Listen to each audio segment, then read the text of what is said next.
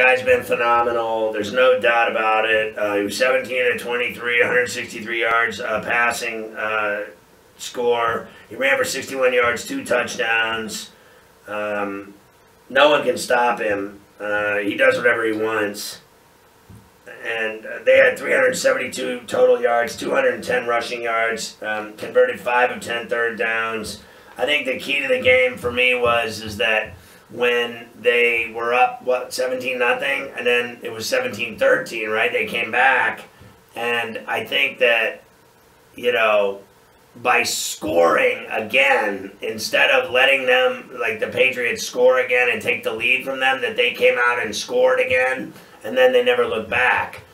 Uh, that they they sucked the life out of the Patriots, who had never given up anything the whole season to anybody, and then they got lit up in this game.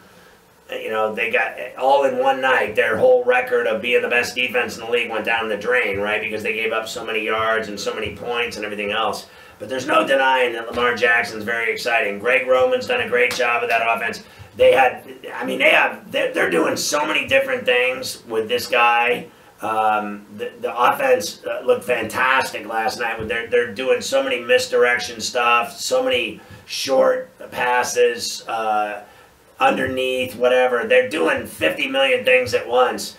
Uh, and all of it worked against the Patriots, uh, you know, on this occasion on a Sunday night in the Charm City. So it must have been nice for him to have all those things line up. The stars were aligned, right? But, you know, on any, uh, as they say, on any given Sunday, they could not have it, right? You could have it all going for you one day, and the next day you don't.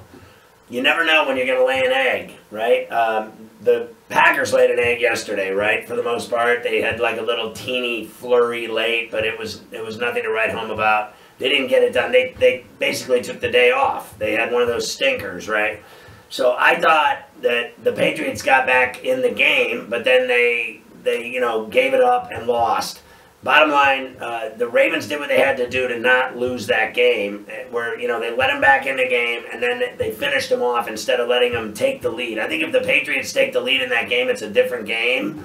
But if you know Lamar Jackson wasn't going to let it happen, and their defense stepped up big time, and they gave uh, Brady some problems. Right? They picked him off, and I think they didn't they recover a fumble and go hizzy. They they did all kinds of things to beat him, but you know, predicting that they're going to win the Super Bowl, I think is is premature. Uh, I do believe there's you know other teams that are good. I think the Ravens are definitely one of the best teams, uh, if not uh, you know in the AFC, if not the best, possibly. I still think you know if they get home field, they, I think they can beat the Patriots again if they have to play at, at uh, Foxborough uh, against uh, Tom Brady in a semi or in a title game, I probably have my doubts that they'll do it up there. I, I have my doubts about that. So nothing's uh, set in stone yet. Uh, people crowning Super Bowl champions after week nine, uh, good luck with that. Have fun with that.